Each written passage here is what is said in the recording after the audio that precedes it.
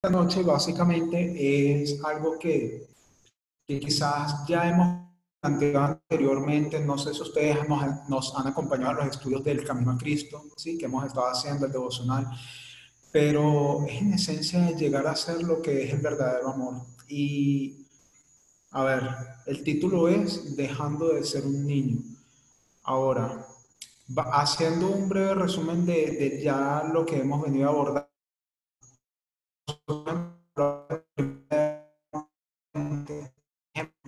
¿sí? que nos está planteando esta situación de que tú no puedes llegar a adorar algo que tú no ves como es Dios si tú no eres capaz de adorar o de amar aquello que tú puedes llegar a ver que es a tu prójimo, que vendría siendo el aspecto natural. El adventismo en general tiene un cierto problema, un cierto grado de confusión. Es el siguiente ellos se enfocan mucho en los cuatro mandamientos y ellos dejan de lado los otros seis porque ellos consideran que haciendo los primeros cuatro, ellos intrínsecamente o naturalmente están llegando a hacer los seis. Y yo considero que eso es un punto de vista ya de por sí partiendo equivocado. ¿Por qué? Porque eso es lo que nos está diciendo primera de Juan 4.20. Nos está diciendo, tú no puedes llegar a decirte que tú amas a Dios si tú no amas a tu prójimo. Es decir, tú tienes que amar primero lo natural para tú luego llegar a amar lo espiritual. Y en ese sentido entonces, ¿qué es lo que no se nos revela allí? Que los cuatro primeros mandamientos, los cuatro primeros mandamientos te están hablando sobre adorar la imagen que Dios ha instituido en la tierra y los otros seis te están diciendo el cómo adorar a esa imagen de Dios, ¿sí? Así que los otros seis mandamientos vendrían a ser solamente una repetición y una ampliación de los primeros cuatro mandamientos, ¿correcto? Ok, eh, luego nosotros comenzamos a hablar de algunas cosas como es el aspecto de la naturaleza y cómo Dios creó a la humanidad en general. Y llegamos a la siguiente conclusión Dios creó al hombre y él hizo que él viera una cosa eh, en el principio. ¿Qué era eso que él tenía que ver? Que él tenía que llegar a experimentar la soledad. ¿Por qué? Porque si nosotros nos vamos al relato del Génesis, ¿qué es la primera cosa que Adán llega a descubrir que él no tiene y que las demás criaturas que Dios creó tienen? ¿Cuál es esa cosa? Es una contraparte, ¿sí? Cada animal tenía a, su hembra, eran cada animal tenía su contraparte, pero el hombre no tenía su contraparte. Y Dios allí le estaba enseñando algo a Adán. Ese algo que le estaba enseñando a Adán era la experiencia que Dios había atravesado. ¿sí? Dios necesitaba su contraparte, él se sentía solo, él no tenía nadie a quien él pudiese manifestar todos sus afectos, ¿sí? Así que por esa razón entonces Dios crea a la humanidad. ¿Por qué? Porque la humanidad vendría a representar en sí mismo a su iglesia. Se supone que Dios o el centro de, digamos, eh, el universo en como, de la forma como Dios lo veía, giraba en torno a la Tierra. ¿Por qué? Porque la Tierra se supone que es o debería de llegar a ser incluso en la Tierra Nueva el lugar donde Dios mora, donde Dios debería de morar con la humanidad. ¿Por qué? Porque Él quería establecer su iglesia en la tierra desde el principio. Y nosotros sabemos que la iglesia es un término paralelo, o sea, eh, proféticamente hablando, vendría a ser una mujer. Así que en ese sentido, Dios, así como Adán, necesitaba de su contraparte y esa es la razón por la cual Dios crea entonces a la humanidad. Para que la humanidad en sí, como un todo, como género humano, llegase a ser esa iglesia que Dios necesita para ser un ser completo. Así que Adán atravesó por toda esa experiencia y él llegó a entender de que él necesitaba también a su contraparte. Entonces Dios lo hizo atravesar por ambas experiencias, primero solo y luego con su contraparte, para que él supiera qué era lo que lo hacía completamente, digamos, feliz o perfecto. Y yo me quiero basar en ese término de perfecto, porque nosotros vamos a definir lo que es perfección o perfecto. Este término nosotros lo vamos a encontrar en Primera de Corintios. Perdón, voy a buscar un borrador.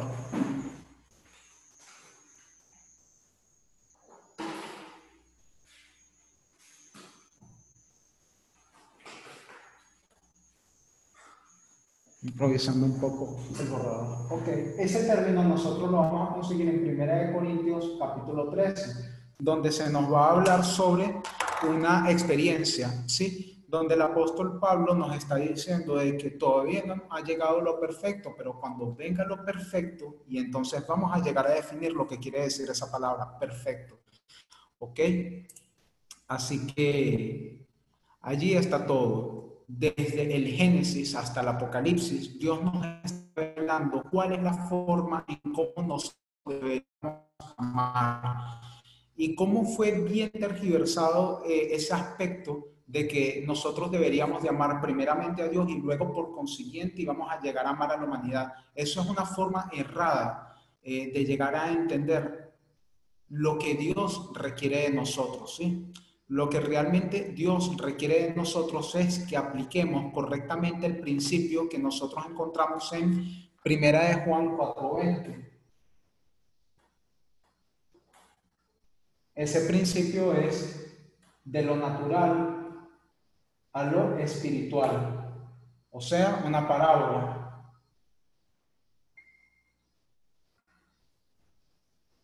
Y entendido desde ese punto de vista, ¿qué es lo que nosotros llegamos a entender?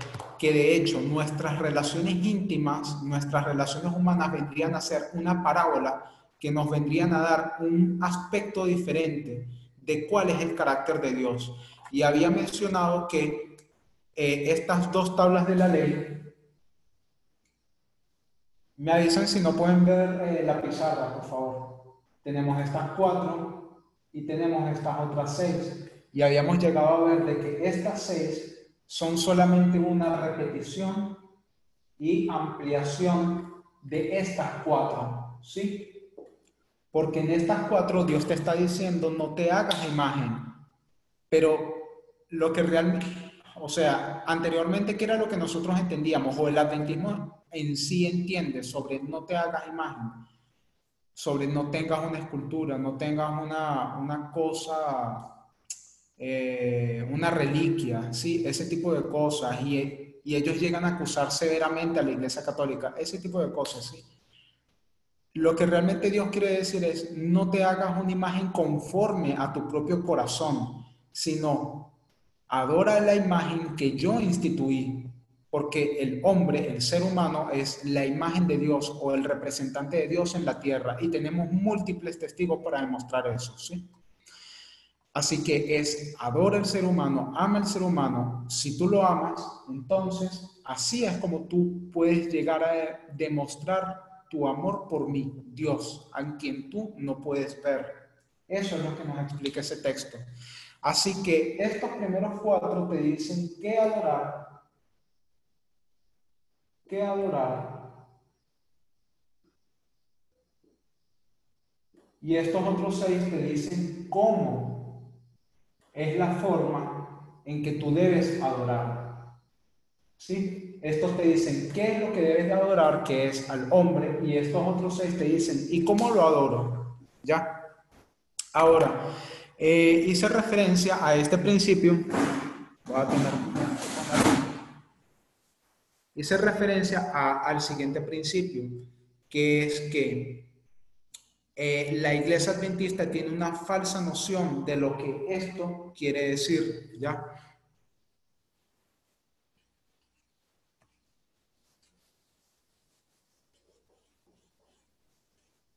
Lo que yo estoy sugiriendo es que la iglesia tiene un problema con la idolatría.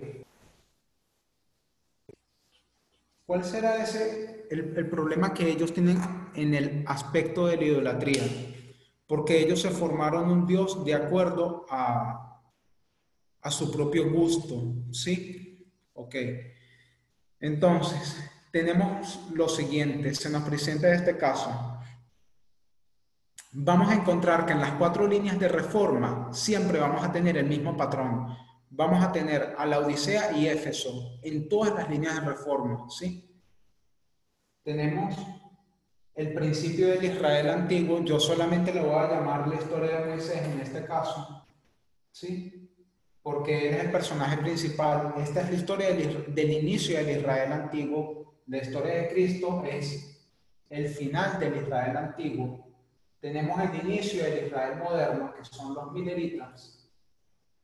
Y tenemos el final del Israel moderno, que son los 144 mil. Cuando esté fallando el sonido, por favor me dicen, ¿sí? Y yo dije una premisa, yo dije que en todos tú vas a encontrar el siguiente patrón, vas a llegar a encontrar la Odisea y Éfeso, en todos. ¿Por qué? El problema del atentismo hoy, si ustedes han seguido los estudios que ha estado dando el anciano Marco, eh, el problema del atentismo hoy es que ellos hicieron un Dios según su propia imagen, ¿ya?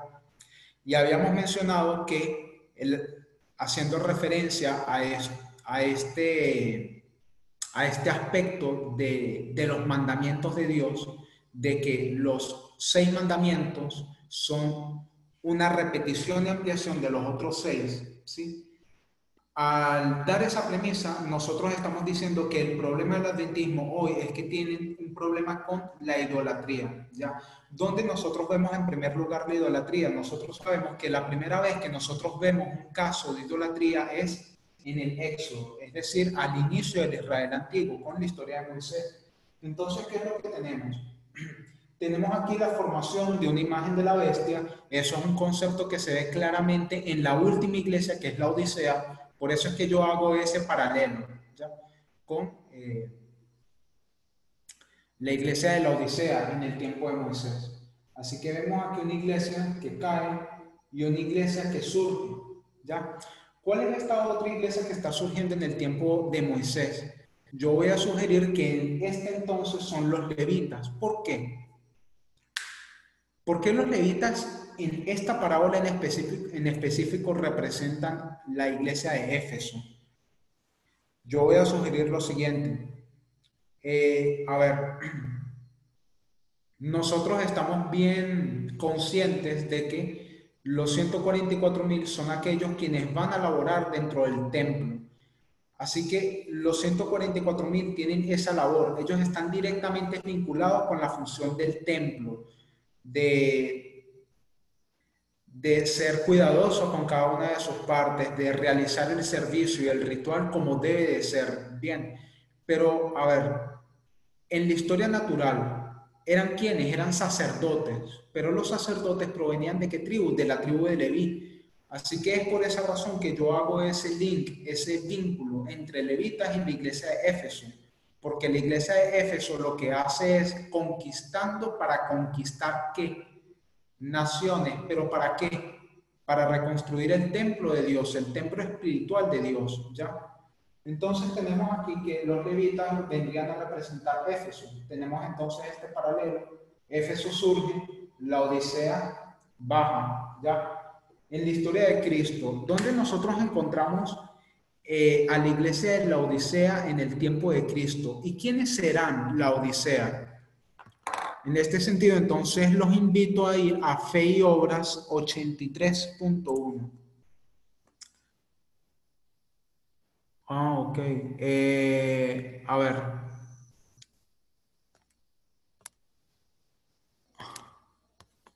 Anciano Marco, este, parece que alguien está intentando entrar a la sala y no le permiten. No veo nadie aquí. Intente otra vez. Ya voy.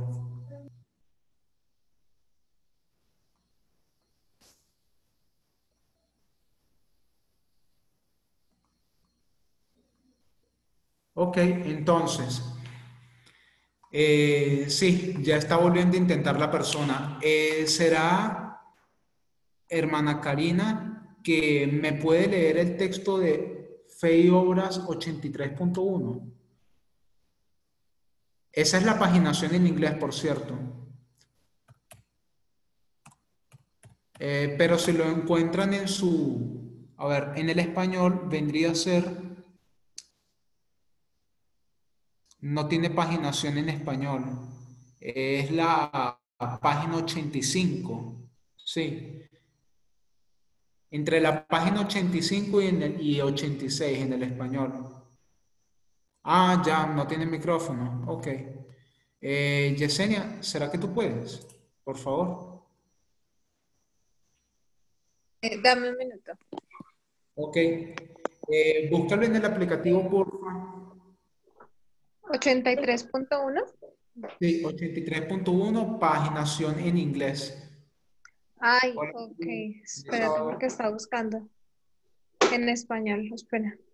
Ok, 83. Yo tengo un libro en físico y creo que está en el 84.2, al final del 84.2. Gracias, Carolina. Eh, 84.2, sí, es ese, 84.2.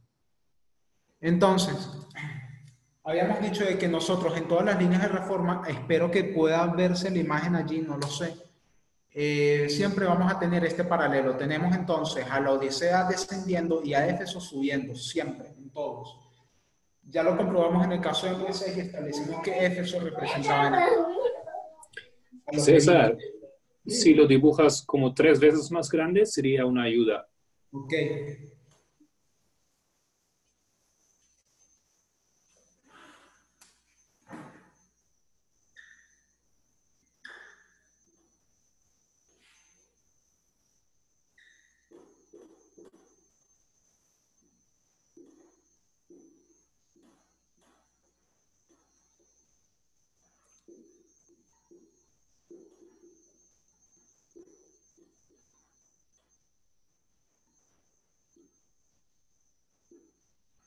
Ok, aquí yo coloqué Éfeso representando a los levitas y la Odisea representando al resto de Israel, porque el resto de Israel se dio a la idolatría, ¿sí? La adoración al toro Apis, si lo recuerdan.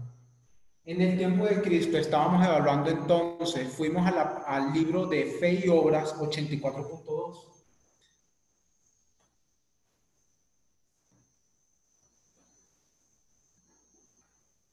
¿Sí? Y allí entonces, leyendo, nos vamos a dar cuenta de quiénes eran los que estaban en una condición laodicense en aquel entonces, en el tiempo de Cristo.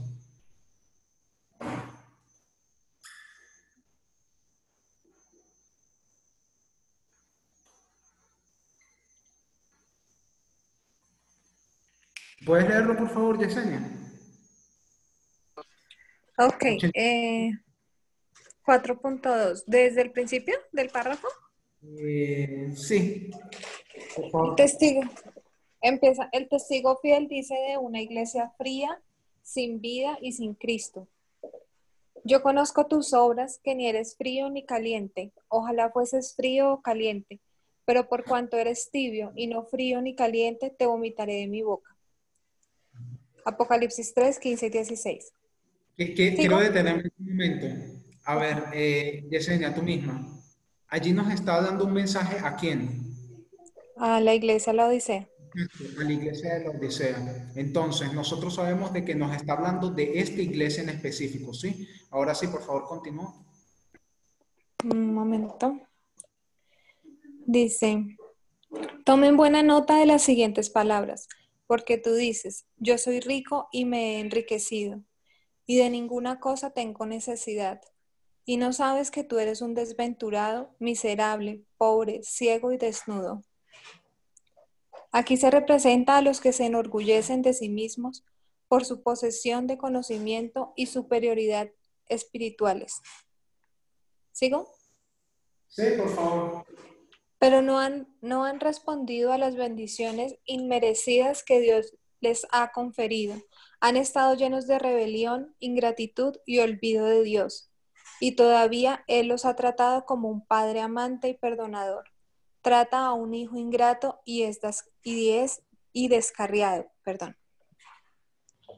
Han resistido a su gracia, han abusado de sus privilegios, han menospreciado sus oportunidades y se han conformado con hundirse en la satisfacción, en la lamentable ingratitud, el formalismo vacío y la insinceridad hipócrita. Con orgullo farisaico han alardeado de sí mismos hasta que se ha dicho de ellos, tú dices, yo soy rico y me he enriquecido y de ninguna cosa tengo necesidad. Ok, gracias Yesenia. Entonces, ¿qué nosotros podemos tomar de allí, de esa lectura? Bueno, no sé si da para ver, pero es lo siguiente. Básicamente en ese texto ella está haciendo una equivalencia entre la Odisea y los fariseos en el tiempo de Cristo. Y ella dice que la identificación de un fariseo es su orgullo farisaico, que dice que yo no tengo necesidad de nada. Allí es donde nosotros entonces establecemos ese vínculo y de paso dice que ellos son aquellos que consideran que tienen superioridad espiritual y un conocimiento, ¿ya? Eh, un, conocimiento elevado, ¿sí? Entonces, aquellos fariseos son un paralelo perfecto con la iglesia de la Odisea, ¿ya? Y nosotros sabemos que la iglesia de la Odisea es la iglesia adventista del séptimo día, ¿sí? Cumplen con el mismo rol, ¿ya? Ellos dicen, yo tengo todas estas reformas, yo guardo todas estas reformas, así que porque yo me tengo que humillar y aceptar a un Cristo que no es lo que yo espero que sea. ¿Por qué? Porque la iglesia formó a un Dios según su propia imagen, como en el caso de Moisés. Ellos salieron con todo este andamiaje equivocado de Egipto y ellos entonces buscaban a un Dios, hacer una imagen de Dios que no era eh, el Dios verdadero, ¿sí? Sino que era un toro que tenía las características de un conquistador, ¿ya? Así que eso es un breve resumen de lo que nosotros hemos venido hablando durante todo este tiempo. Y nosotros sabemos que en el caso de los mileritas tenemos a lo siguiente, tenemos a Sardis y también tenemos a Filadelfia. Pero no lo voy a comprobar en este estudio, pero nosotros sabemos que Sardis equivale a la Odisea, porque dice, tú tienes nombre de que estás vivo, pero estás muerto. Eso es la condición laodicense, ¿sí? ¿Ok? Eh, y tenemos a Éfeso que es siendo representada por Filadelfia. ¿Por qué? Porque la característica de Éfeso es el tiempo. La característica de Sardis es no conocer tiempo. Así que la característica de la iglesia de la Odisea también es no definir tiempo. La iglesia de Éfeso siempre define tiempo. Y es por eso que nosotros entendemos que somos la iglesia triunfante o Éfeso nosotros debemos de definir tiempo, eso está en nuestra naturaleza, ¿ya? Ok, entonces yo quería dejar eso solamente para que quedase allí en la grabación. Tenemos que en el tiempo de los mileritas encontramos ese mismo patrón. Ya no Éfeso y la Odisea exactamente en palabras, sino que lo tienes que utilizar a través de metodología de parábolas. Cuando tú utilizas la metodología de parábolas, puedes llegar a ese entendimiento que en el tiempo de los mileritas tienes también a la Odisea y a Éfeso, y puedes encontrar las características que definen esas iglesias. Ahora, en el tiempo de los 144 mil, ¿qué es lo que nosotros tenemos? Obviamente, este es el tiempo de la séptima iglesia, como se cumplen términos literales, la Odisea, y tenemos a Éfeso también, ¿sí? Que somos nosotros, la iglesia triunfante, esa piedra que es cortada de la montaña. ¿Ya? Entonces, eso fue una breve, eso ha sido un breve resumen de lo que hemos abordado en, estos últimos meses ya. Eh, a ver, ahora sí. Quería llegar entonces a lo siguiente. Primera de Juan 4:20 nos está dejando el siguiente principio que nosotros también encontramos en Primera de Corintios 15:46 primero lo natural y luego lo espiritual. Tú no puedes decir, voy a llegar a lo espiritual si tú primero no pasas por lo natural. Así que tú siempre tienes que pasar por una experiencia, digamos, terrena antes de querer llegar al cielo. ¿Sí? Si tú lo llevases a la parábola del mayordomo, tú tienes que ser fiel en lo poco. ¿Qué es ser fiel en lo poco? Ser fiel con las cosas que tú ves en la tierra, para entonces llegar a ser fiel en lo mucho. ¿Qué es lo mucho? El cielo. Sí, es básicamente eso. Ahora,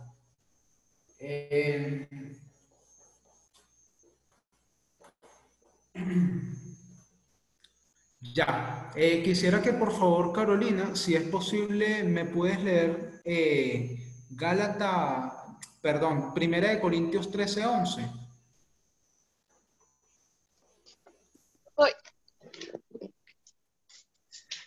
Un momento agarrando mi Biblia en español.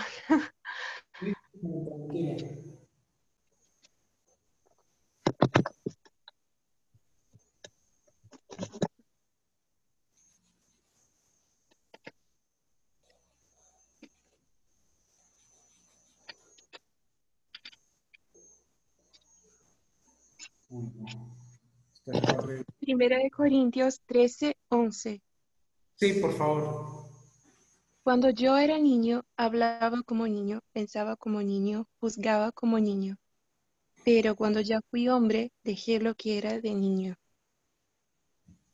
Ok, gracias. Entonces aquí, gracias Carolina, aquí en Primera de Corintios 13, 11, se nos está hablando de dos experiencias. Hay una comparación y un contraste, ¿sí? Entre dos personas. Primero, un niño. Y un adulto o un hombre, ya.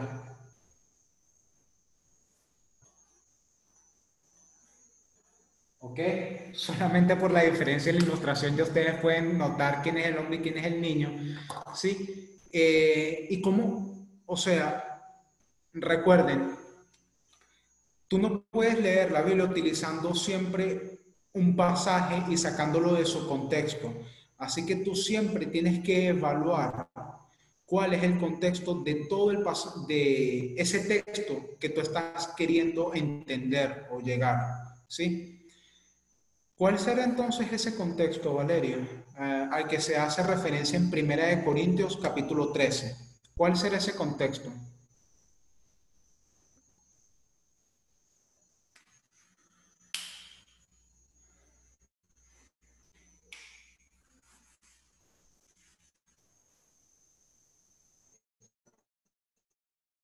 ¿Se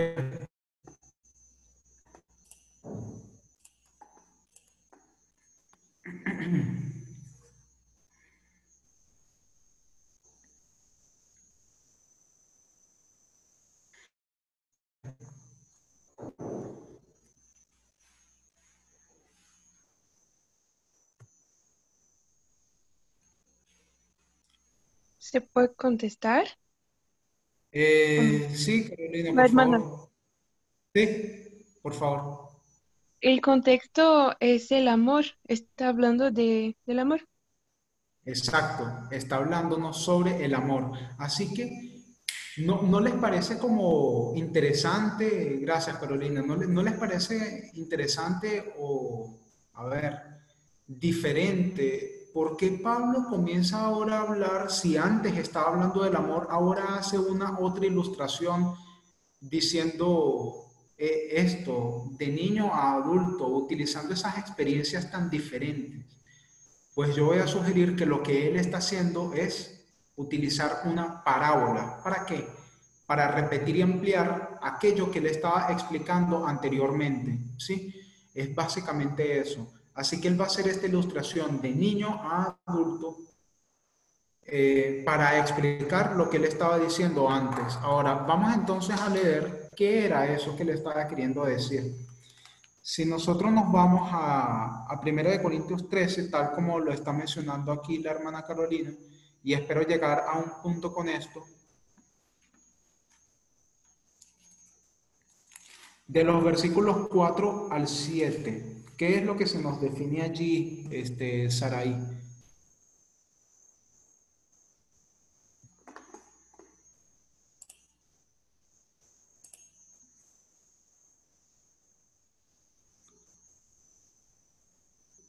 Saraí. ¿Qué será lo que se nos dice en 1 Corintios 13 del versículo 4 al versículo 7? Dice que no ¿Lo puedes leer?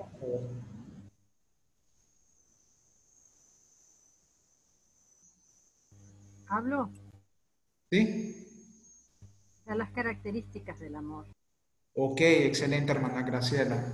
Son las características del amor, ok. Muy bien. Ahora, eh, ya. El versículo 8 nos viene a decir algo interesante. Nos dice que la profecía deja de ser, ¿sí? Dice de hecho que falla. ¿Qué querrá decir eso de que falla? O sea, en el inglés nos dicen de que la profecía falla, dice así. Pero ¿qué es lo que falla? ¿Será el hombre o será Dios? Eso fue una discusión que nosotros llegamos a tener un día, de hecho, en una clase que dio Cindy un sábado. Eh, era a quién culpo. ¿Sí? Si la recuerdan, llegamos a la conclusión de que el hombre siempre tiene la culpa. Eh, ¿Dónde nosotros vemos este concepto de que la profecía llega a fallar? No lo voy a colocar, eh, no vamos a estudiar eso en este momento, porque no es el tema principal, pero eh, si nosotros nos vamos a la experiencia del profeta Jeremías, Jeremías, capítulo 15, versículos del 15 al 19. Este es un pasaje muy famoso que se utiliza en el movimiento. Bueno, anteriormente se utilizaba más, donde Dios le dice a Jeremías, toma, toma las palabras que yo te estoy dando, que es la palabra de Dios, la inspiración. Jeremías la come y él dice que fue dulce para él, dice que fue su gozo.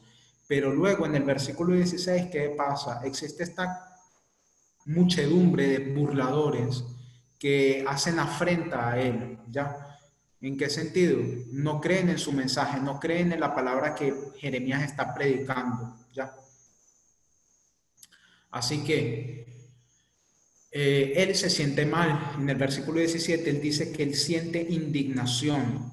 En el versículo 18 él dice, ¿por qué Dios tú eres un ser tan inestable que me fallas?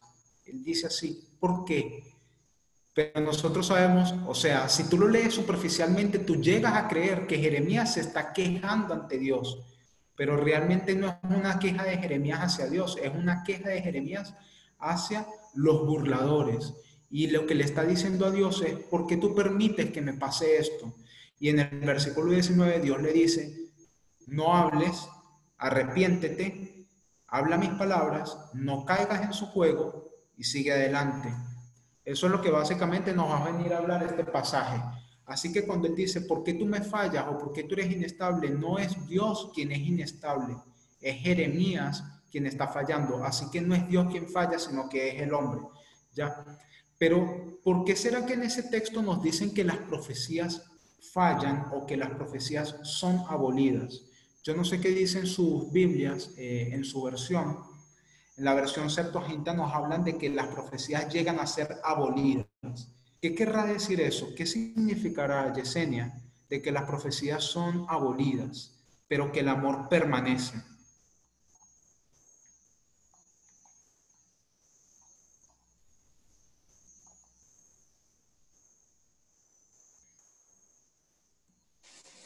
No, no, no sé. Ok. Eh, solamente para ampliar un poco este, este término de que las profecías no fallan, nosotros eso lo sabemos por definición. Habacuc 2.3 nos lo dicen, aunque tardare, espéralo, porque sin duda vendrá, no tardará, ¿ya? Aunque, o sea, aunque parezca que fallase, no va a demorar, se va a cumplir como Dios lo ha establecido, ¿sí? Así que nosotros vinculamos este concepto de fallo con el concepto de demora. De hecho, si nosotros nos vamos a la definición Strong, vamos a darnos cuenta de eso en un momento. Ok, entiendo, ahí. gracias. Eh, pero yo sí realmente quisiera que ustedes, ¿quién más está? Raimundo, ok. Eh, yo sí realmente quisiera que ustedes me definieran a mí ¿Qué querrá decir eso? Que una profecía llega a cesar o a ser abolida. ¿Qué querrá decir Raimundo eso? Si tiene A ver. Sí, ¿qué tal? eh, ¿no se refiere cuando Cristo venga? ¿A eso se refiere, creo? Ok. Gracias, Raimundo. Yo, yo creo que, que cesa cuando ya tiene su cumplimiento. Cuando ya se cumplió, ya cesó. ¿Cómo, cómo, tú llegaste a esa conclusión, Yesenia? Gracias, Raimundo, por, por, por, tu aporte. ¿sí? Porque fíjense, ya un momentico, Yesenia, antes de continuar.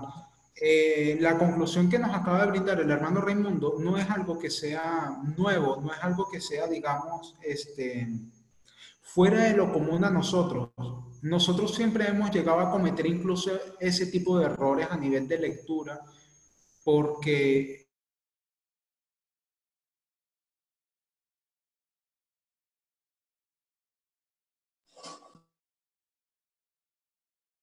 ideas que, que de alguna forma llegan a moldear nuestra comprensión del texto. ¿Sí? Eh, ¿Me están escuchando ahora? ¿O el internet no da?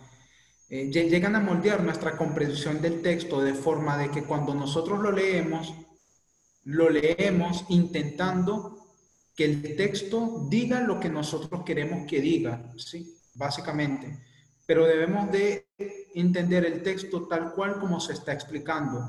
Ahora Yesenia nos está diciendo de que no, no, no, no le está diciendo hacia mí, pero nos está exhortando a todos, nos dice, aprende a leer. Eso es lo que nos está diciendo Yesenia. Y nos está diciendo que ese texto hace referencia a cuando las profecías se cumplen y por consiguiente llegan a su final. Es por eso, porque terminan cumpliéndose. Yesenia, ¿cómo tú llegaste a esa conclusión?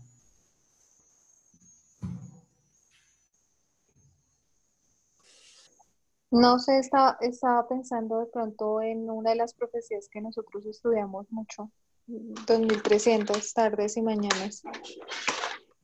Entonces, em,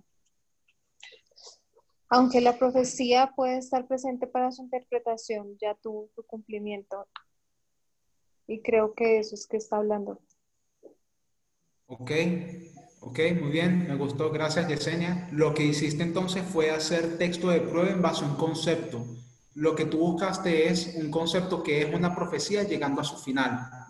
Y tú tomaste el ejemplo de las 2.300 tardes y mañanas, que llegaron a su fin en 1844.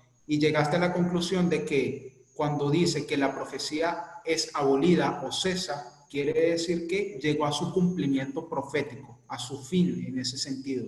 ¿Ya? Ok, ese es un aspecto interesante. Yo, yo quisiera abordar un otro aspecto. Por cierto, el tuyo es el correcto, me gustó. Eh, vamos a la concordancia Strong y vamos a ver esta palabra cesar o abolir. ¿A qué hace referencia? ¿Ya? Cuando nosotros nos vamos al Strong y nosotros buscamos este texto, 1 Corintios 13, 8, lo que nos viene a decir es lo siguiente. Esta palabra, acabar o abolir o cesar, es la palabra G2673. G2673. ¿Ya? Y esta palabra al mismo tiempo está dividida en dos. ¿Ya? Por una parte tienes G2596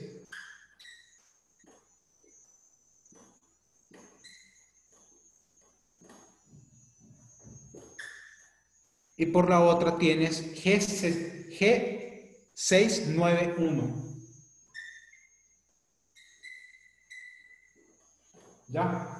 Así que en esta te va a decir que la definición es demorar o ya va. Sí. Llegar a demorar o llegar a ser inútil, ¿ya? Y en esta otra, G2596, lo que te va a venir a decir es que es algo que ha sido dada de baja, ¿sí? Algo que ya no tiene ninguna función, no tiene más utilidad. Y si tú te vas al original, a esta, 2673, lo que te va a decir es ser enteramente inútil, ¿ya? ¿Por qué es una profecía enteramente inútil? ¿O a qué punto una profecía llega a ser enteramente inútil? Fíjense, si nosotros nos vamos a la misma estructura del texto, está haciendo una comparación entre dos experiencias. Él va a tomar tres elementos que yo voy a considerar están englobados en un todo, en un uno, que son el conocimiento, la profecía y las lenguas. Esas tres cosas están englobadas en una misma, ¿ya? Pero el amor está siendo comparado. Así que tú tienes el amor por una parte y estas otras tres cosas por la otra. Y dice, ¿y por qué yo estoy diciendo que estas tres cosas son una? Porque estas tres, las lenguas, la profecía y el conocimiento o las ciencias, estas tres van a dejar de existir, van a cesar, pero el amor permanece. Así que lo que está haciendo en el versículo 13, perdón, en el versículo 8 del capítulo 13, lo que le está haciendo es comparar y, contrastar dos experiencias, por decirlo de esa forma, ¿sí? Recuerden, eh, este término de experiencia es importante, porque ¿qué es lo que tú tienes de aquí? Este es un niño y este es un adulto. ¿Qué es lo que tú tienes aquí en el intermedio, en esa etapa de transición? A eso nosotros le llamamos experiencia. Un adulto es una persona experimentada. ¿Por qué? Porque ya atravesó por esta etapa. Avanzó paso por paso hasta llegar a ser adulto. Y recuerden, al principio del estudio estaba diciendo de que esto vino como una, una reflexión del libro El Camino a Cristo, ¿ya? Básicamente eso. Estamos hablando de pasos, estamos hablando de experiencia, estamos hablando de pasar de ser un niño a ser un adulto. ¿Cómo debemos nosotros hoy dejar de ser niños y comenzar a ser adultos? Y todo esto se engloba en el contexto del amor. Primera de Corintios 13. ¿Ya? Ok. Eh, vamos entonces a avanzar. Gracias Carolina por eso. No sé si alguien tiene alguna opinión que dar, alguna pregunta hasta el momento, algún comentario, idea. Creo que sí, en el, en como unos versículos antes, eh, en el 9. Ok. Eh, dice, porque en parte conocemos y en parte profetizamos.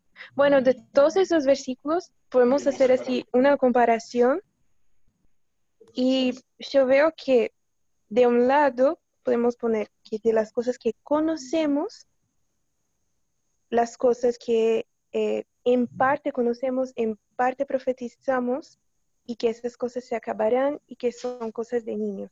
Y del otro lado, lo que es perfecto, el amor. Y entonces, como con contraste, yo pongo las cosas que no conocemos. O sea, la primera parte sería, serían de cosas de la tierra y la segunda parte de las cosas espirituales. También hay una cosa que los niños cuando muy, son muy pequeñitos, ellos, um, yo creo que a los nueve años empiezan a entender conceptos que no son conceptos tangibles, digamos. Empiezan a, no sé si, creo que tal vez antes, yo leí eso en algún lugar, que empiezan a como, yo no sé una palabra que podría decir, no sé, independencia. No, no vas a, un niño muy chiquitito no va a entender eso porque no es algo que puedes tocar, es una idea. Entonces, alguien que es grande sí puede entender esas cosas que no se pueden ver, pero que tienen esencia. Gracias, Carolina. Excelente. Me encanta. Entonces, eh, lo que la hermana Carolina aquí nos está sugiriendo es lo siguiente. Vocês são geniais. Vocês dois. Vocês são geniais, vocês são dois.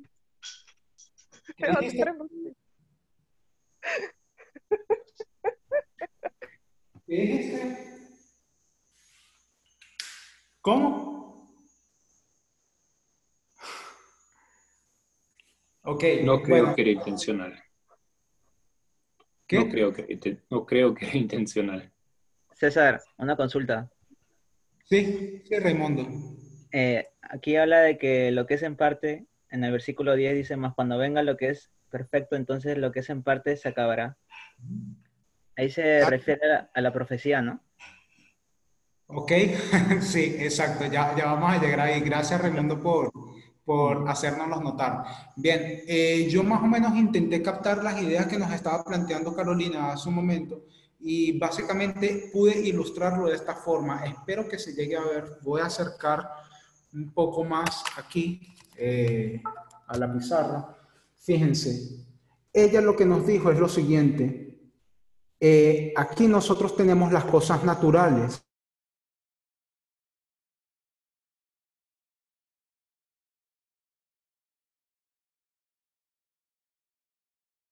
Nosotros utilizamos un texto que se encuentra en el libro de la educación, en el capítulo 26, que se llama Métodos de Enseñanza.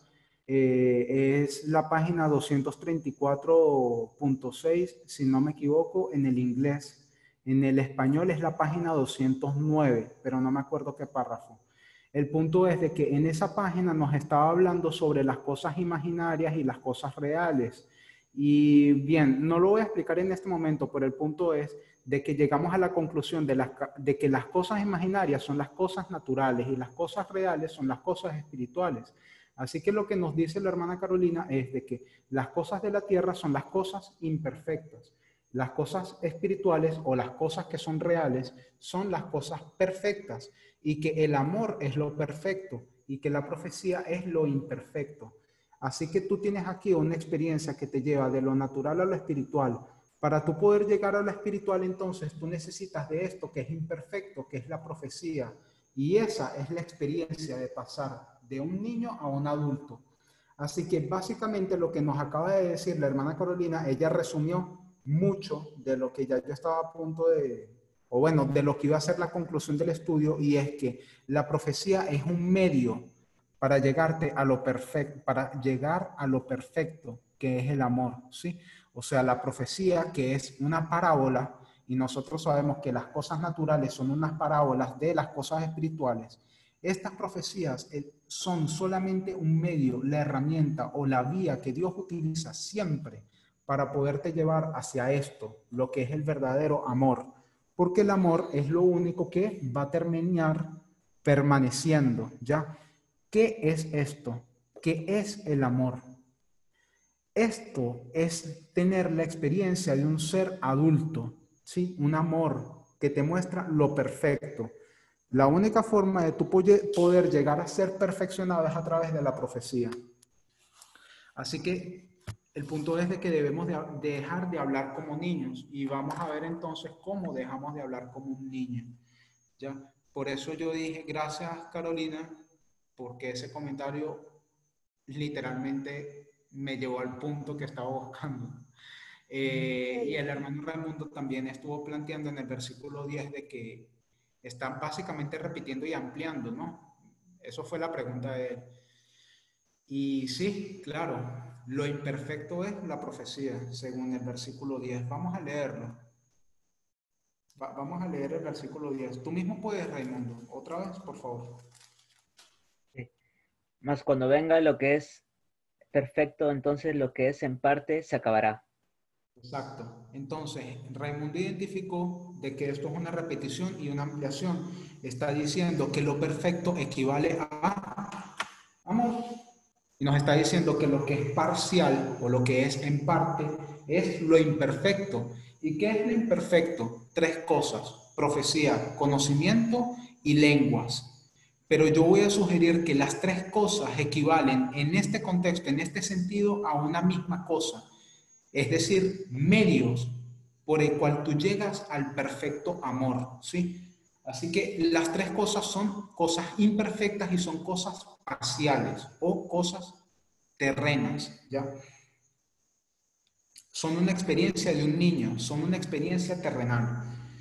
Así que en este versículo, que es solo una repetición y ampliación, nos está diciendo que cuando venga el perfecto amor o cuando venga lo perfecto, estas cosas profecía, conocimiento y lenguas van a cesar. ¿Qué quiere decir lo que, van a cesar? Ya la hermana Yesenia nos lo dijo. Cesar quiere decir llegar a su fin, llegar a su cumplimiento perfecto. ¿Por qué? Porque ya no tiene más utilidad, ya no tiene más ninguna función.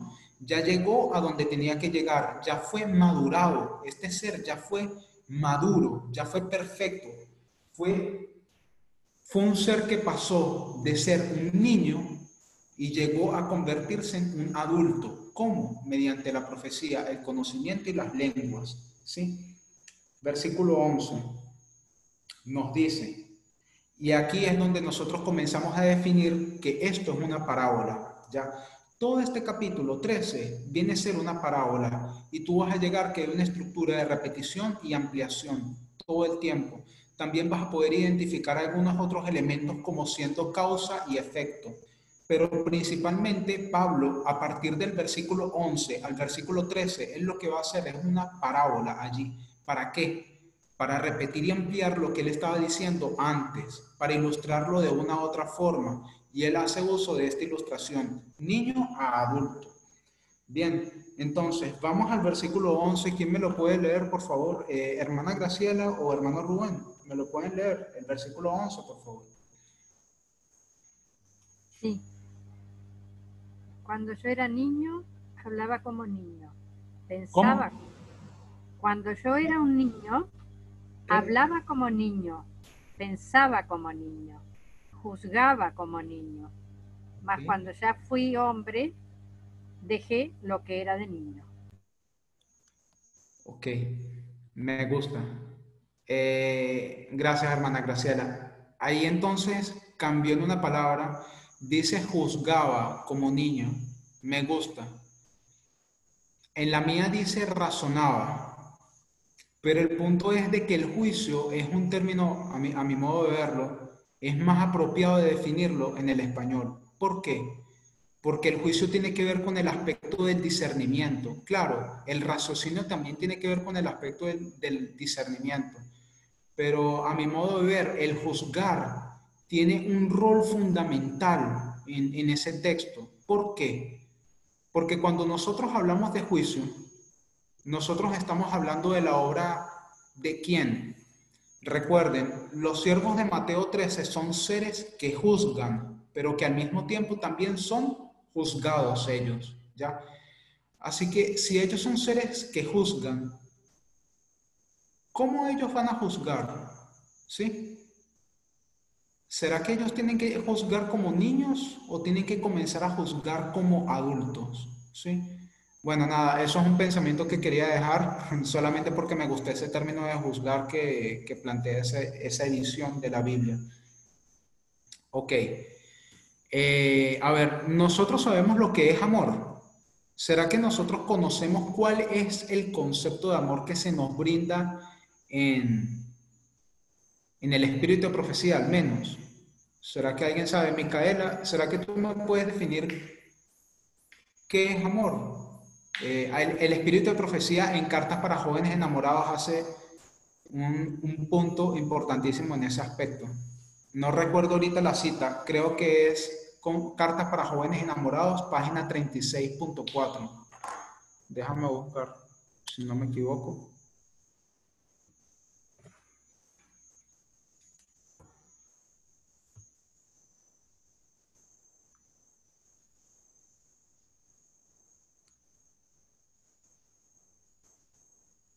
Micaela. O 34.6 será. No sé ni siquiera cuáles son las siglas de cartas para jóvenes enamorados. Es así tal cual. CJE. CJP. Como enamorados E. Ah. CJE. A ver. 36.4.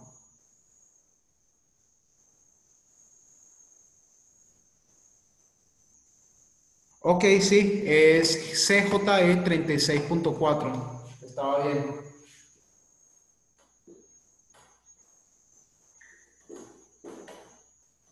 ¿Será que me lo puedes leer, por favor, Micaela?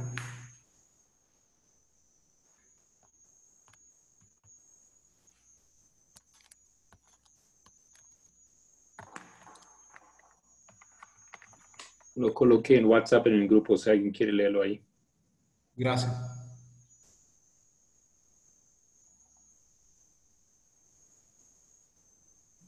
Yo lo leo. el amor es un sentimiento tan sagrado que muy pocos saben lo que realmente es. Es un término que se utiliza, pero que no se comprende. El cálido resplandor del impulso, la fascinación que un joven siente por una señorita no es amor. No merece ese nombre. El amor verdadero tiene una base intelectual, un conocimiento profundo del objeto amado. Amén. Excelente. Gracias, hermana Solange. Así que aquí el espíritu de profecía nos está diciendo que el amor es que tiene una base intelectual y que consiste en el, en el profundo conocimiento del objeto amado. ¿ya? Así que el amor en ese contexto equivale a qué? A conocimiento. ¿sí? Así que estábamos hablando de que en el versículo 11 ahora Pablo nos va a comenzar a hablar sobre dos experiencias una etapa de niño y una etapa de adulto, ¿ya? Ahora, yo quiero que nosotros, recuerden, vamos a hacer entonces texto de prueba en base a un concepto y vamos a buscar entonces el concepto de ser un niño y de ser transformado hacia una experiencia de adulto. ¿Dónde nosotros podemos encontrar esa ilustración? Yo sé que es difícil a veces relacionarnos con este, esta, esta forma de buscar en texto de prueba, eh, es diferente, pero yo voy a sugerir Gálatas 4, 1 y 2. ¿Ya?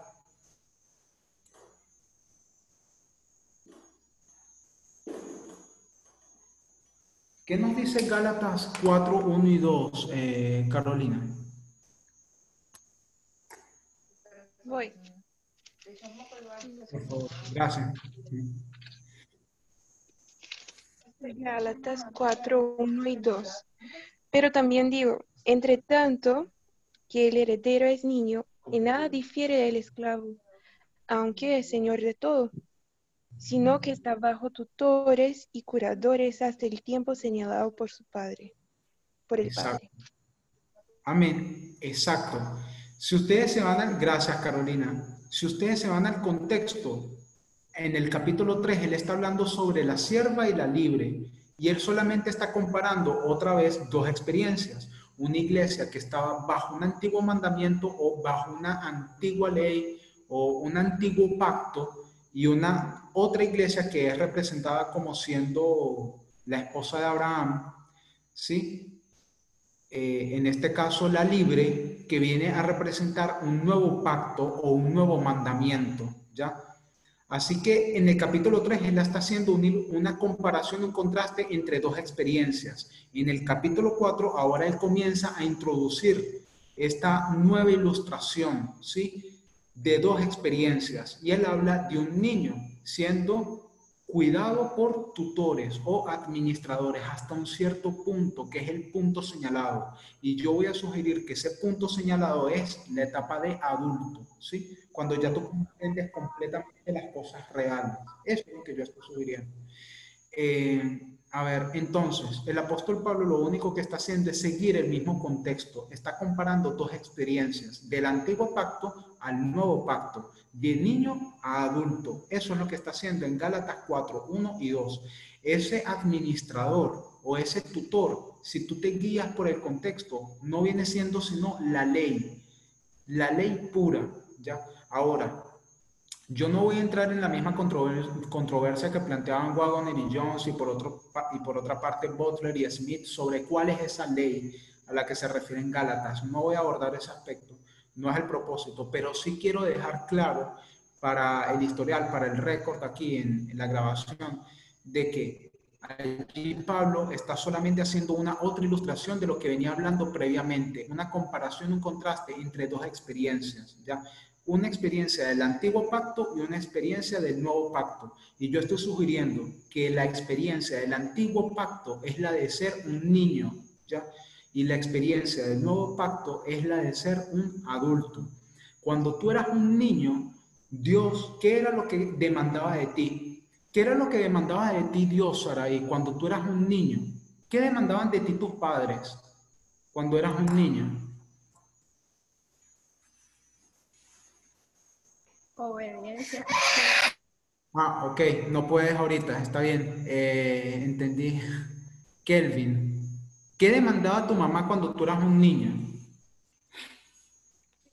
Obediencia, que le, que le hiciera caso. Pero que, gracias, Kelvin, eso es obediencia, pero ¿qué clase de obediencia tú mismo? Dime. A las normas de la casa, lo que ya estipulado. Pero, pero, pero, ¿de qué forma tú obedecías? Tú decías, dale, está bien, tranquila, no te preocupes, yo voy a hacer esto. ¿Tú negociabas con ella? no, si me portaba mal, habían consecuencias. Exacto. Entonces, ¿qué clase de obediencia es esa? Obligada. Ajá, una, obediencia obligada, una, una obediencia forzada. Tú eras un robot Tú no tenías ningún derecho a reclamar, tú no tenías ningún derecho a negociar. Eso es la experiencia de ser Ya, eh, a ver, cuando tú eres un niño, tú no tienes derecho a reclamar a tus padres ni decirle, mira, ¿qué es lo que tú estás haciendo? ¿Por qué tú actúas de esta forma? Tú no tienes derecho a cuestionarlo. Es una obediencia sin cuestionar, es una obediencia forzada. A eso es lo que hace referencia el apóstol Pablo cuando dice que en el antiguo pacto Israel fue puesto bajo tutores hasta el tiempo señalado. ¿ya? Ese tiempo señalado es cuando tú eres un adulto. Tú comparas y contrastas. Cuando tú eres un niño, tú obedeces de una forma obligada o forzada. Cuando tú eres un adulto, ahora ya tú comienzas a razonar. ¿Y qué es lo que hace Dios contigo? Él te fuerza. Cuando tú eres un adulto, ¿Será que él te llega a forzar, eh, Yesenia? No, ya no. Exacto, él no te llega, él, gracias, él no te llega a, a forzar. Él lo que espera de ti, lo que demanda de ti cuando tú eres un adulto, es que tú ahora te comportes como tal y llegues a cumplir lo que dice ese versículo bíblico. Ven, vamos a razonar, vamos a conversar. ¿Qué te pasa? ¿Qué, es lo que tú necesitas de mí? ¿Qué es lo que tú quieres? Esa es la experiencia. A ver. Exacto, por voluntad propia. ¿Ok? Por voluntad propia. Eso es lo que entonces Dios requiere de ti cuando tú eres un adulto, que tú lo obedezcas según, tu según los dictámenes de tu propia conciencia, ¿sí? Tu propia voluntad, eso es el verdadero amor, eso llegaría a ser el verdadero conocimiento ¿sí? del objeto amado. Pero la única forma en cómo tú puedes llegar a ese completo conocimiento del objeto amado es a través de estas tres cosas que el apóstol Pablo hacía referencia. Profecías, lenguas y conocimiento, ¿ya? Eh, que son el medio por el cual Dios se manifiesta. Así que tú tienes esta experiencia, tú pasas de un antiguo pacto a un nuevo pacto. Y eso puede ser una experiencia aplicable tanto a nivel individual como a nivel institucional. De hecho, nosotros estamos completamente eh, conscientes de que la institución y el individuo están vinculados siempre. Eso nosotros lo tenemos. Primera de Corintios capítulo 12, cuando nos da el ejemplo del cuerpo, él está hablando de la iglesia, pero él a su vez está haciendo la ilustración del cuerpo humano. Así que él está comparando al individuo con la institución. Son dos cosas que pueden correr entonces en paralelo. Así que la experiencia del antiguo pacto o la experiencia de ser un niño, ¿a qué se refiere? Obedecer sin cuestionar. ¿A qué se refiere la experiencia de un nuevo pacto? Se refiere a la experiencia de llegar a negociar con Dios, llegar a deliberar con Él, a debatir con Él hasta que lleguemos al punto de entender completamente cuál es el principio de la ley. ¿sí? ¿Cuál es el principio que se le fue dado en la ley? ¿Cuál es el verdadero amor?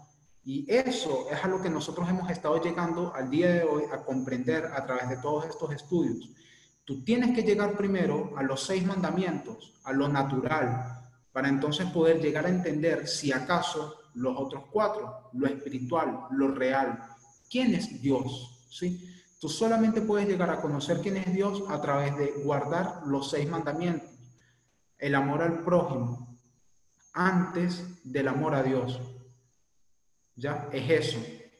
Y el caso del por qué el adventismo ha desvirtuado tanto el sábado, imponiéndole cargas, así como los fariseos impusieron cargas a, a los israelitas en su tiempo con respecto al sábado, es porque ellos perdieron completamente la noción del por qué el sábado les es dado. Ellos creen que el sábado es, por ejemplo, solamente asistir a la iglesia, tener un mal rato en el carro y pelear con los hijos, pelear con la esposa y no sé qué.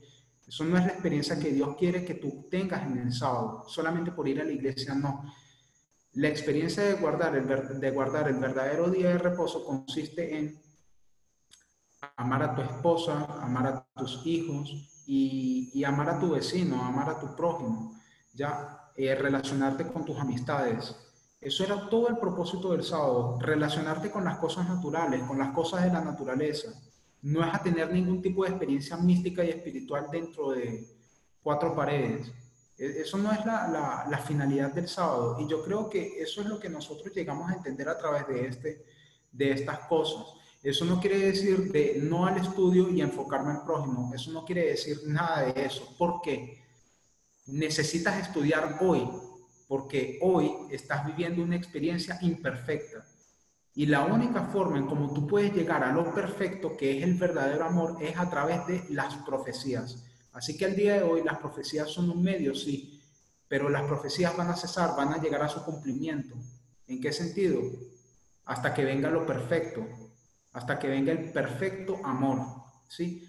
Hasta que el verdadero amor de Dios por la humanidad se refleje en nosotros de tal manera que lleguemos a ser literalmente los representantes de Cristo en la tierra y podamos, eh, o sea, podamos ser salvación para otros. Y yo creo que hemos estado desempeñando ese rol de principio a fin en nuestra línea de reforma.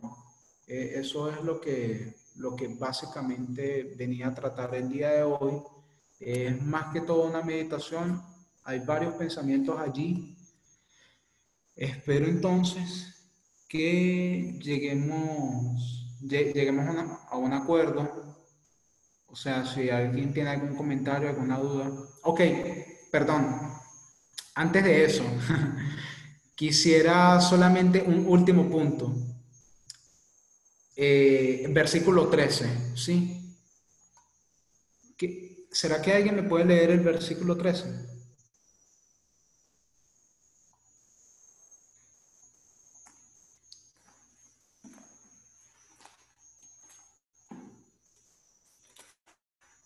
Eh, hermana Graciela, ¿será que me lo puede leer, por favor? Versículo 13 de Primera de Corintios 13. Sí, cómo no.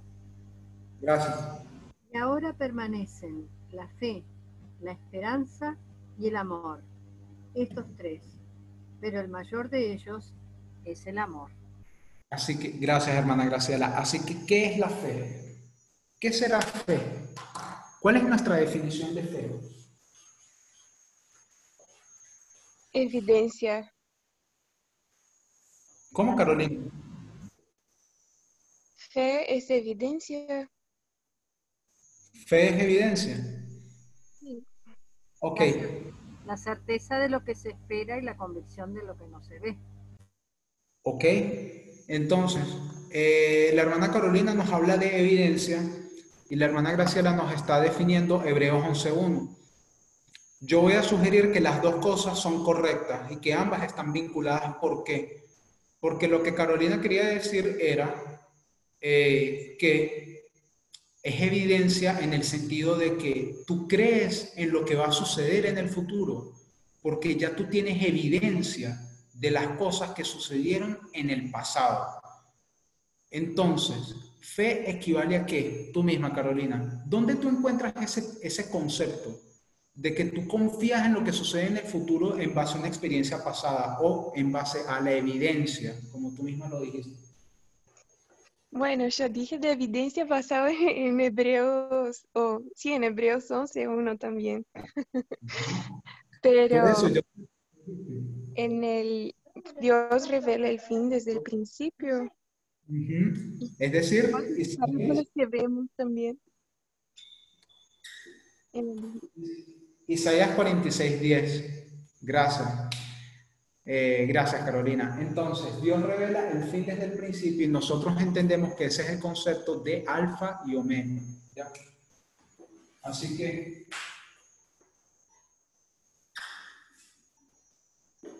tenemos aquí el alfa, tenemos aquí el omega. También podemos decir de Edén a Edén. ¿Ya? Entonces, ¿qué es lo que nos dice ese texto? Que eh, por ahora permanecen la fe, la esperanza y el amor. De estos tres, el mayor es el amor. Así que, ¿cuál es mi fe? Mi fe es que el Edén va a llegar a ser restaurado. Mi fe es que yo me encuentro en el medio, pero yo sé que el Edén pasó y tengo fe de que sucederá. Expectativa o esperanza. ¿Qué querrá decir eso? Yo tengo la esperanza de que yo voy a llegar aquí. Es eso. Cuando yo llegue aquí, ya eso va, a dejar de tener un propósito. ¿Ya? Así que en ese sentido, la fe y la esperanza equivalen una misma cosa. Y la fe y la esperanza van a llegar a su final, así como la profecía va a llegar a su final, cuando cuando tú llegas a este punto, al final, a la restauración completa. ¿Por qué? Porque ya estás en el cielo, ya cuál va a ser tu esperanza. Tú esperas que eso suceda. Eso sucedió, Dios te dio la recompensa. Ahora ya tú no tienes esperanza de que eso suceda en un futuro porque ya tú lo vives, ya.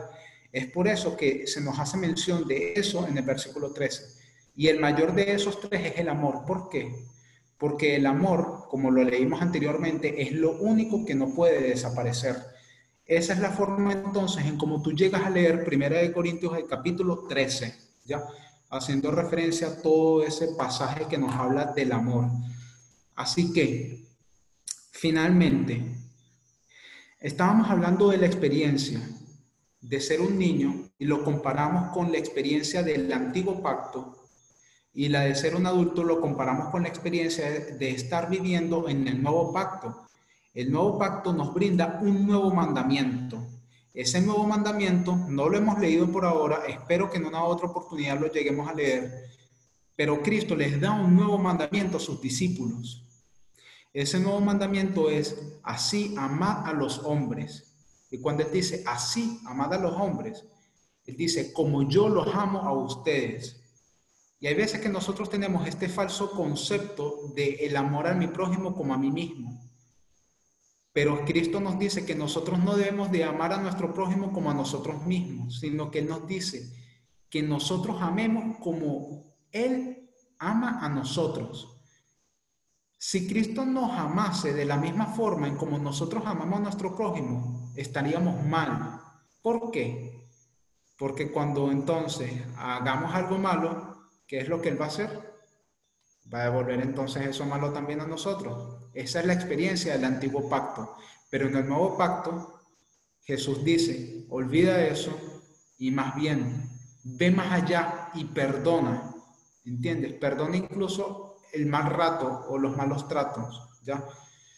Eh, ve más allá y ámalos así como yo te amo a ti.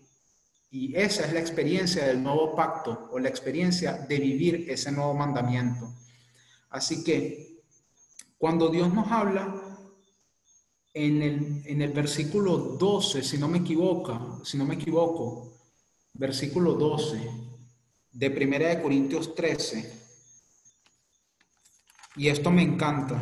Cuando estaba reflexionando sobre esto, quedé impresionado eh, de cómo Dios se manifiesta en nosotros Primera de Corintios 13, 12.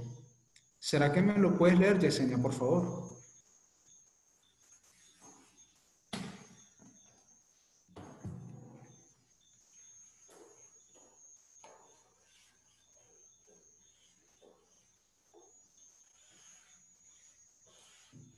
Yesenia.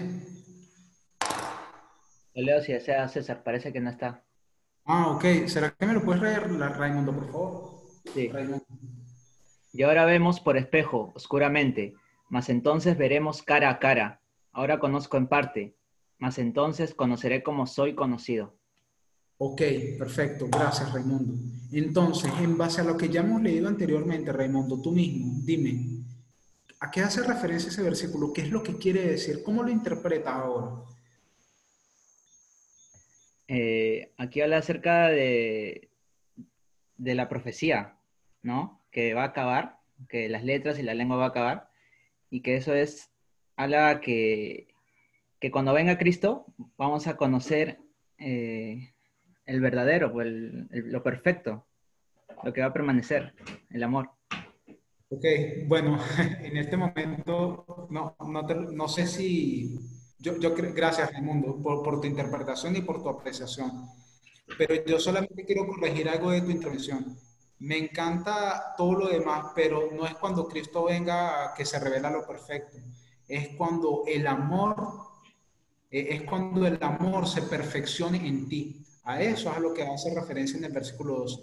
Cuando venga lo perfecto, porque recuerda, tú mismo me dijiste, lo perfecto equivale a amor, lo imperfecto equivale a profecía, lenguas y conocimiento. Así que cuando dice, cuando venga lo perfecto, no está hablando de la segunda venida, está hablando del el amor. Cuando el amor se perfeccione en ti, es decir, cuando tú dejes la experiencia del antiguo pacto y pases a la experiencia del nuevo pacto, es decir, cuando abandones la experiencia de ser un niño, un lactante, cuando tú ya comiences a ser un ser maduro o un ser que coma comida sólida, cuando tú llegas a esa experiencia, es que se va, va a llegar lo perfecto, que es el amor, ¿sí? Cuando llegues a la adultez, vas a conocer lo perfecto, el amor. Porque cuando eres un niño, tú no lo conoces, tú solamente ves mediante un velo, mediante las cosas naturales, ¿sí? Como lo planteaba Carolina al principio. Es eso. Gracias, gracias, César. No, no, no, está hablando de la segunda venida, no, gracias a ti. Está hablando desde cuando el verdadero amor se manifiesta, ya, en ti. Entonces, me encanta ese, ese versículo y reflexioné en lo siguiente. Eh, dice, conoceré conforme fui conocido. Por ahora yo veo como un velo, como un espejo, pero luego lo veré cara a cara. Yo creo que por eso viene la confusión de Raimundo, porque dice cuando lo veré cara a cara eh, cuando dice ciertamente, cuando lo veré cara a cara, sí hace referencia a Dios. Cuando yo vea a Dios cara a cara, pero recuerda, yo no necesariamente tengo que estar en el cielo para ver a Dios cara a cara, ¿ya? Allí entonces utilizaríamos la parábola de la historia de Moisés cuando iba a recibir las tablas de piedra. Cristo descendió y se le manifestó. Él vio la gloria de Dios, entre comillas cara a cara, mas no era cara a cara, porque él solamente vio las espaldas y vio su gloria, y su gloria es su carácter. Yo no necesito estar en el cielo para conocer el carácter de Dios. ¿ya? Así que... Disculpa, es que me confundí también, será por el concepto que tengo desde hace años. Y también. Me falta desaprender ese concepto y aprender eh, lo nuevo. Exacto, gracias. No, todos nosotros, de hecho. Entonces, este, a ver, eh, el punto es el siguiente. Mm, bien, cuando nosotros conozcamos lo que es el verdadero amor o el verdadero conocimiento de Dios, que es amor de hecho, cuando nosotros lleguemos a ese punto, a esa etapa de madurez y de adultez, entonces yo voy a ser conocido como, como fui conocido. Cuando hablamos de esta palabra conocido, hacemos referencia a intimidad matrimonial, ¿ya? Así que Dios está haciendo la ilustración de una parábola que es la parábola del matrimonio, ¿sí? Intimidad entre hombre y mujer. A eso es lo que hace referencia. Así que a eso es a donde apunta el versículo. Cuando tú llegas a la etapa del verdadero amor, de la madurez o de la, o de la adultez, vas a ver a Dios cara a cara, vas a conocer completamente su carácter y vas a llegar a tener una verdadera experiencia íntima con Él, al punto de llegar a ser una sola carne. Es decir, combinación de lo natural con lo espiritual. Y yo estoy sugiriendo, y sí, lo digo para el récord, para la grabación, que esa experiencia tiene que suceder para nosotros antes de Paño si queremos pasar esa prueba. Es eso. Entonces, si alguien tiene algún comentario para finalizar. Sí, el estudio es hermoso, Carolina. A mí también me dejó muy, muy conmovido. Ok. Si nadie más tiene ningún comentario. Sí, sí.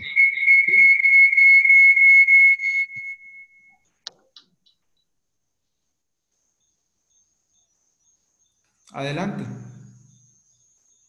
O lo puedes escribir.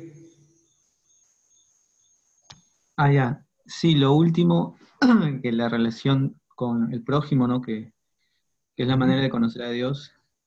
Y siempre escuchando que muchas veces hemos rechazado al prójimo por, por pensar que estamos agradando más a Dios o, o poniendo a Dios como en primer lugar, ¿no?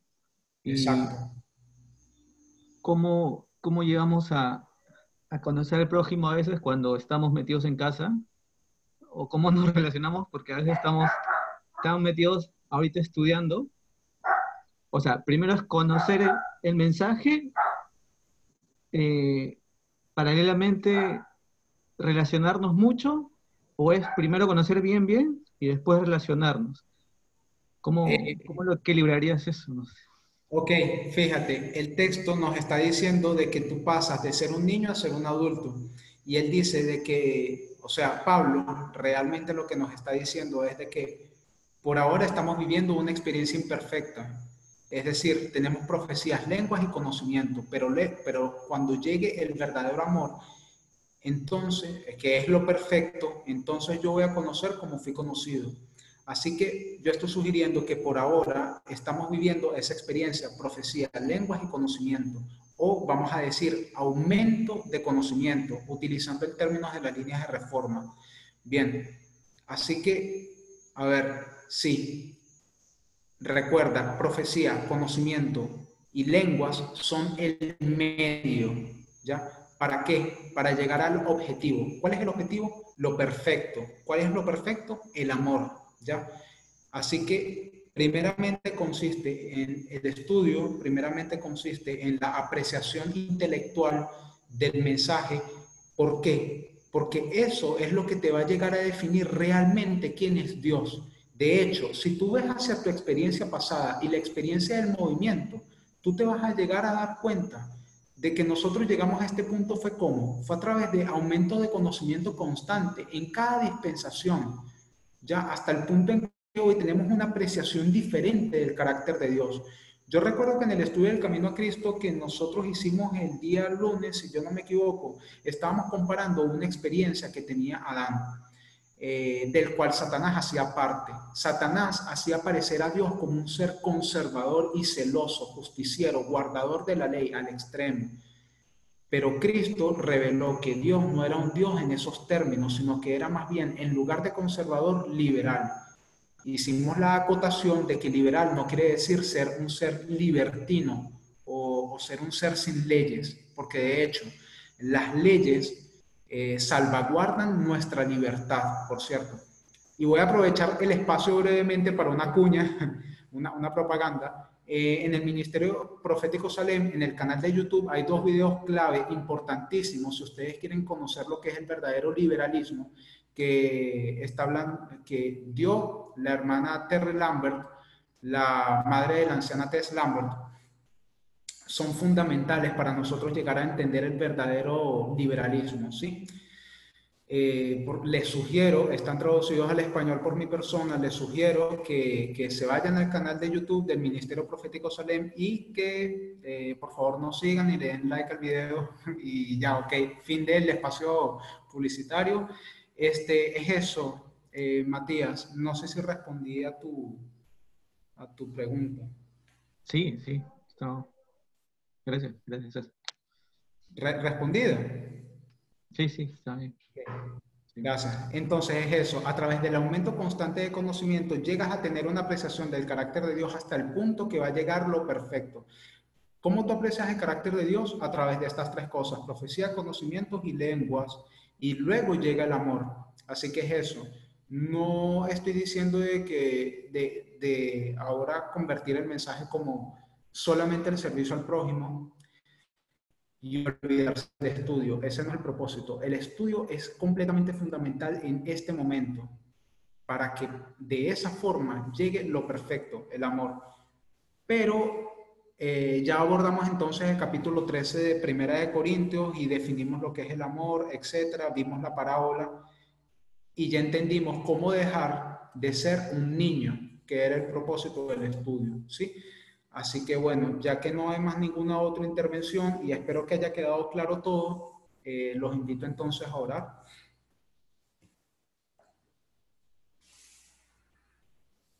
Bendito y bondadoso Señor, eh, te doy gracias en esta noche por